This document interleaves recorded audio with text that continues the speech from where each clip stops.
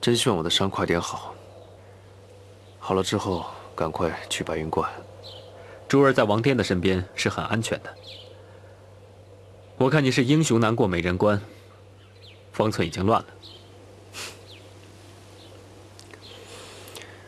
我来中原的时候，是为了完成师傅的心愿。没想到，遇上你们。你是爱上他了吧？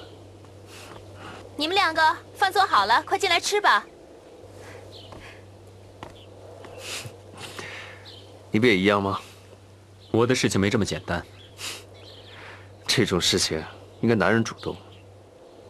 你不会让女孩子先开口吧？现在不是讲儿女私情的时候。